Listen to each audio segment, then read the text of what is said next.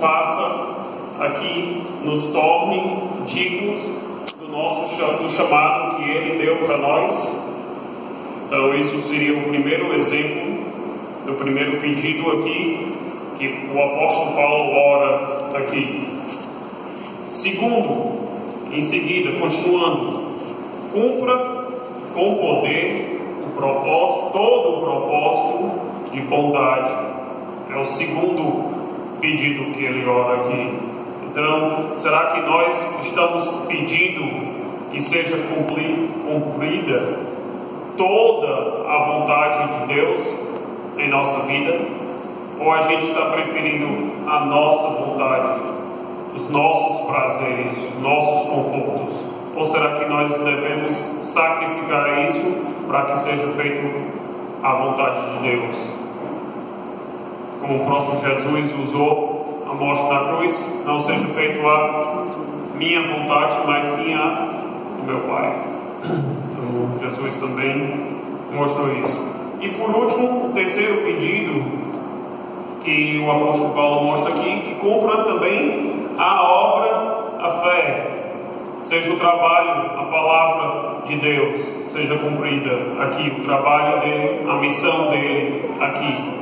Então, nós estamos aqui, a igreja aqui, nós temos o trabalho do Senhor aqui, mas nós precisamos avançar esse trabalho. Esse trabalho não é, a missão de Deus não é só aqui, que seja feito todo o trabalho dele avançando.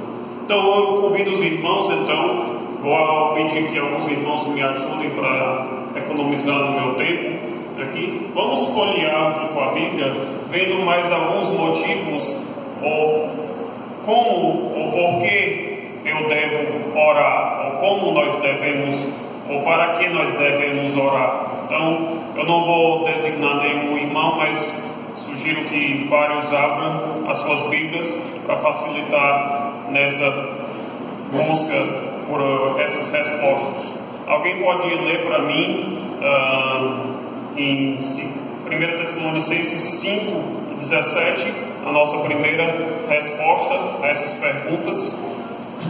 O irmão que achar pode levantar e ler. Orar sem cessar. Essa é complicado, né? Aqui é uma ordem, certo? Aqui não é uma sugestão nós devemos estar em espírito de oração. Então, por que, que eu devo orar? Porque é uma ordem. Aqui, quem, quem tem algum professor de português aqui? Aqui está no infinitivo. Devo orar. É uma ordem. Tá imperativo aqui. Orai sem cessar. Outro, irmãos, 1 Timóteo 2,1. Outro irmão pode abrir em 1 Samuel 12, 23, para adiantar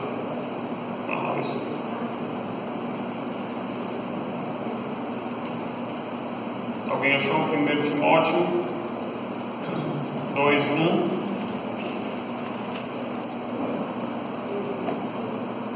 Antes de tudo, antes de tudo, pois, exorta que se use a prática de súplicas, orações, ações de graça Muito bem, aqui nós podemos ver alguns sinônimos que o apóstolo Paulo usa. Quais são? Súplicas, orações, óbvio, intercessões e ações de graça. Irmão cerrou aqui, importante incluir com a parte de agradecimento a Deus. Temos muito de agradecer a Deus, mas é um sinônimo de orar, certo? um sinônimo. Outro irmão pode. Então, essa segunda seria, uh, seria as nossas prioridades aqui.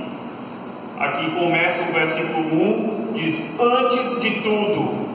Muitas vezes a gente só lembra de orar quando?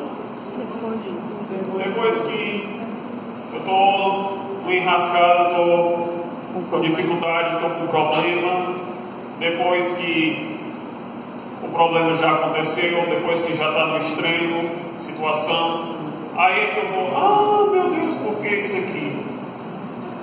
Mas aqui diz o quê? A introdução aqui diz o quê? antes de tudo.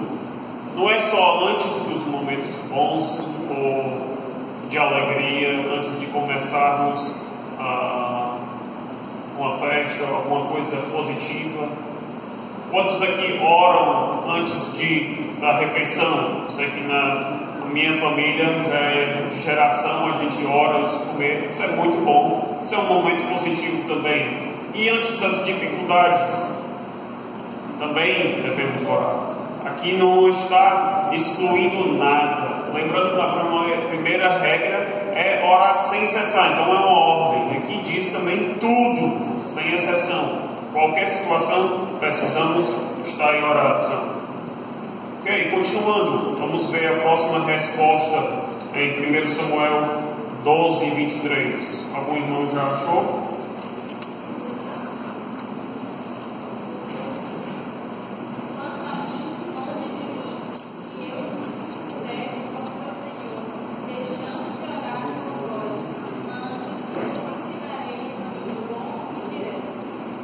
Muito bem. Samuel aqui diz que até a ausência de orar é o quê? É o quê? Pecado.